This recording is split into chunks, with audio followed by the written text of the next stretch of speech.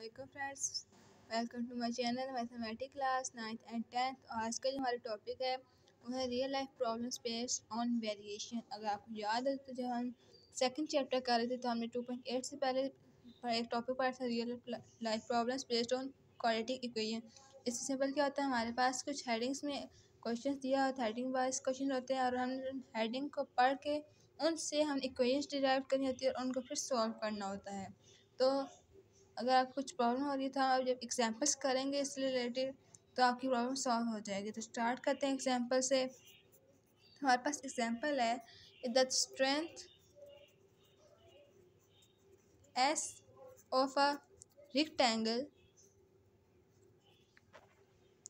varies directly as breadth b and scale of depth अब हम साथ साथ डेरिवेशन करते रहते हैं, ठीक है? The strength S varies directly as breadth B and square of depth मतलब डी का स्केयर आगे बढ़ते हैं तो इफ़ अब पास अब कंडीशन में एक वैल्यूज़ दी जाए कि if beam is equal to nine wide and 12 centimeter deep will support 1200 IB. So what the beam of 12 centimeter and 9 centimeter support? तो हमारे पास इस पास ये कंडीशन है इससे सबसे पहले हमें जो है स्ट्रेंथ की और रेक्टेंगल की ब्रेथ की और डेप्थ की। वैल्यूज़ की हैं, मैं आपको इसके बताती हूँ। हमारे पास एस है स्ट्रेंथ ऑफ़ बीथ हमारे पास क्या थी? नाइन नाइन आ गई यहाँ पे। सेकंड ब्रेथ तो ये हमारे पास सेंटीमीटर आता है ये हमारे पास जो है वो ब्रेथ के लिए यूज़ हो रहा होता है। तो जो हमारे पास ब्रेथ है, वो नाइन है। बल्कि जो हमारे पास ये है ये हमारे पास वन ट्वेल्व हंड्रेड स्क्वायर से क्योंकि हमारे पास स्ट्रेंथ होती है वो आई बी में ड्राइव होती है, इसलिए हमने यहाँ पे एस इक्वल टू हमारे पास वन टू ज़ीरो ज़ीरो है।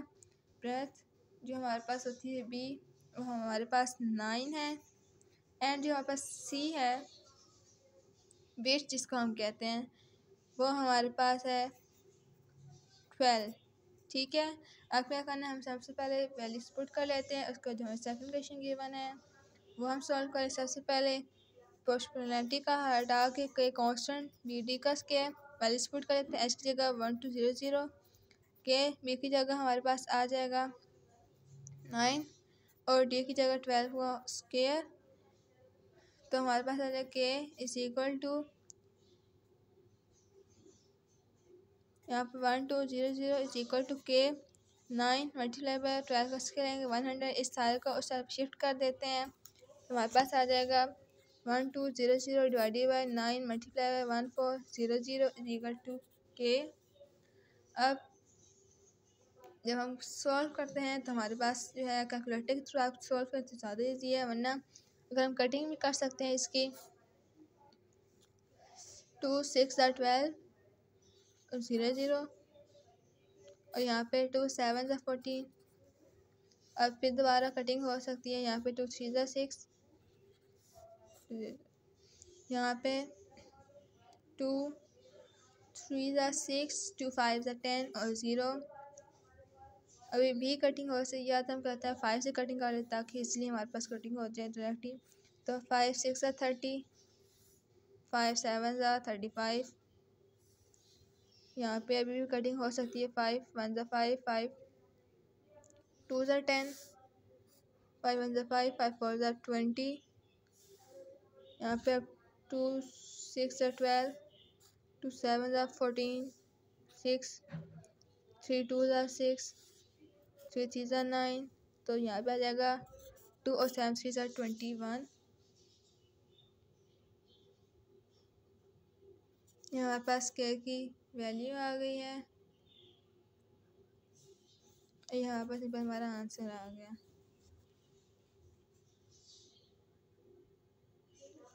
सो अब नेक्स्ट एक और एग्जांपल भी सॉल्व करेंगे। तो हमारे पास है the current of a wire varies directly as electronic electromotive force electronic force current सबसे पहले करंट हमारे पास आई में होता है, ड्राइव्ड और इलेक्ट्रोमोटिव फोर्स जो हमारे पास होते हैं, इलेक्ट्रो है तो मतलब E and inversely proportional to resistance resistance हमारे पास आर होता है, ये हमारे पास फॉर्मूला बन रहा है, करंट ऑफ़ द वायर का कि हमारे पास क्या होता है, current of the wire directly proportional to electromotive force and inversely proportional to resistance. अब यहाँ पे हमारे पास वैल्यूज़ गिवन है तो हमारे पास जो करंट है वो हमारे पास है थर्टी टू एम्पेयर एम्पेयर इसका होता है यूनिट इलेक्ट्रोमोटिव फोर्स, जो हमारे पास है वन ट्वेंटी एट वोल्ट है, वोल्टेज वोल्ट में इसका फाइंड होता है और रेजिस्टेंस आर, रेजिस्टेंस का हमारे पास होता है ओ एच एम। ठीक है, सबसे पहले ये हम ये सॉल्व करते हैं तो current is equal to K E divided by R आगे सॉल्व कर लेते हैं। यह आ जाएगा thirty two is equal to K one twenty eight divided by eight पहले कटिंग कर लेते हैं टू फोर ज़र एट टू सिक्स ज़र ट्वेल्व टू फोर ज़र एट अब यहाँ पे शिफ्ट कर thirty two multiply by four divided by sixty four is equal to K जब हम इसकी मल्टीप्लिकेशन करते हैं तो हमारे पास आ जाता है। फोर टू ज़र एट एंड फोर थ्री ज़र twelve is equal to sixty four देखें जब मैंने इसका किया सिक्सटी फोर को टू से मल्टीप्लाई किया तो वन ट्वेंटी एट आ रहा है मतलब ये कटिंग हो रही है। तो ये हमारे पास क्या की वाली टू आ गई। अब इसे हम उस इक्वेशन लिख लेते हैं। कि current is equal to two E by R और सेकेंड कंडीशन है कि find current I where electromotive force one fifty volt resistance equal to eighteen O H M so solve कर लेते हैं। Current is equal to two E की जगह one fifty आ जाएगा। Resistance की जगह एट आ जाएगा। सो so, जब हम इसे करते हैं कैलकुलेट करते हैं और देखिए मैंने कटिंग की तो two one two two nine ज़र एटीन और नाइन को थ्री ज़ा का नाइन थ्री थ्री ज़ा नाइन और थ्री फिफ्टी ज़ार वन फिफ्टी होते तो हमारे पास फिफ्टी बाई थ्री हमारे पास आ गया करंट की फिफ्टी बाई थ्री और जो हमारे पास एम्पियर था उसका जो हमारे पास यूनिट था वो भी लाजमी में लिखना होता है। तो ये हमारे पास हमारा आंसर आ गया। तो मुझे उम्मीद है कि आपको प्रॉब्लम्स को थ्रू सॉल्व करना आ होगा वेरिएशन के।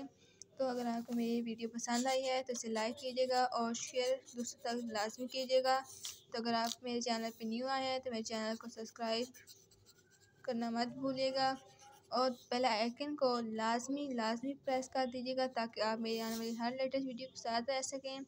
और मैं वीडियो सेंड करूँ और अपलोड करूँ, आप तक क्लियरली इजीली पहुँचती रहें। तो अब हम अपनी नेक्स्ट वीडियो में मिलेंगे। तब तक के लिए अल्लाह हाफिज़।